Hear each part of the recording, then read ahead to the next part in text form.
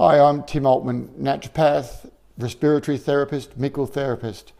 Um, I thought it'd be a good idea to tell my story as to what inspired me to become a professional or a health professional working with a range of ailments, um, particularly specialising in chronic fatigue syndrome, fibromyalgia, IBS, anxiety, and depression. Um, many many years ago, back in the late 80s, I, at the time I was training full time in a particular sport with an eye on going to the Olympic Games.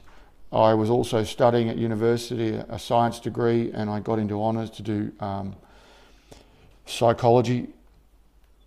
And at the time, and I was also working part time to you know look after myself.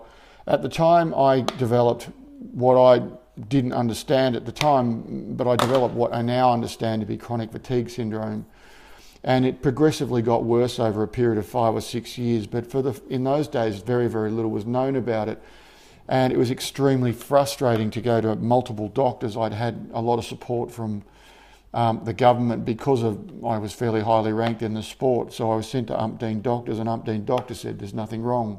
Clearly there was. So it was very frustrating, and it was many years later that I had a doctor who actually spent time, took my case history, and said, "I know what's wrong with you," and I got a label. That's all it is, is basically a label, and then said, "I can't help you. All you need to do is rest." So I was fortunate about nine months later to um, start working with a practitioner who um, was a doctor and research biochemist in Russia and working as a naturopath out here, and he'd done a lot of research on natural medicines and natural medicine techniques. And within six months, I was completely better. Um, and then I started, you know, getting back into living a normal life again, training. Again, uh, I didn't bother uh, training to the same level, but I was certainly able to train as much as I wanted and work and do whatever I felt like, and um, I got known amongst the sporting world as a person who got rid of chronic fatigue. So I had a lot of people get in touch with me, um, and then I would get them appointments with this practitioner.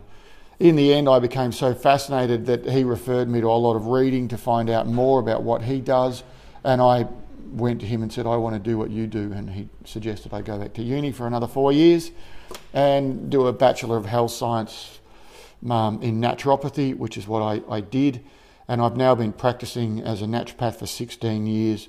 I've really my mission over that period of time has been finding better ways uh, of treating these type of illnesses. I've worked in a lot of other areas like weight loss, um, optimal health, sports nutrition, respiratory therapy for asthma and headaches and migraines and snoring.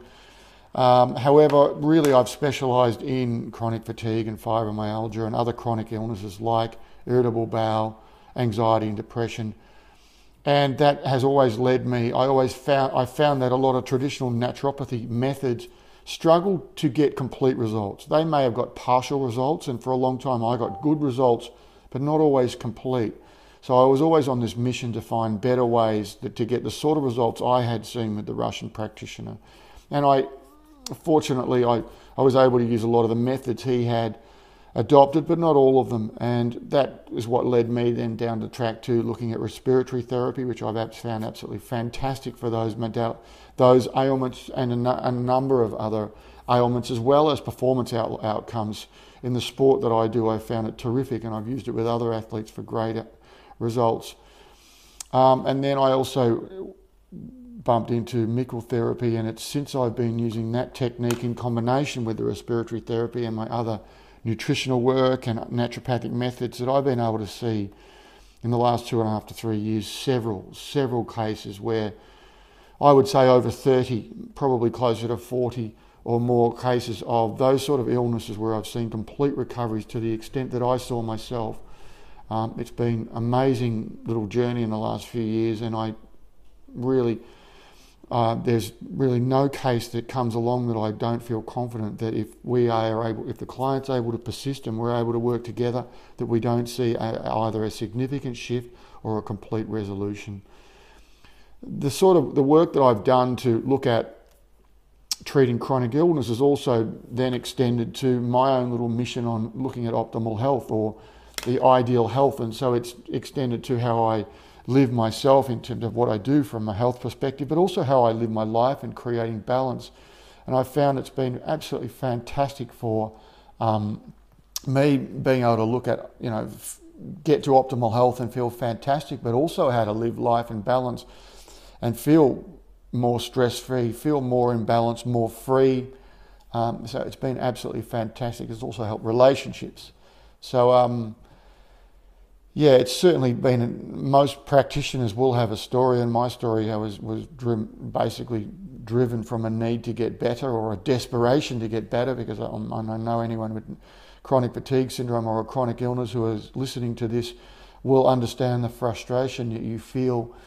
Um, firstly, when people can't acknowledge, even acknowledge what's wrong, and secondly, when they can't help, you know, they, they may offer to help and you might get partial results, but you, you rarely ever see complete results. So it's been that mission to try and help other clients. It's also driven my own mission to explore the upper end of health, and it's been a great trip. So I certainly um, would love to, anyone who's listening, I would love to be able to work with you and help you out. I'm very confident that I can do so.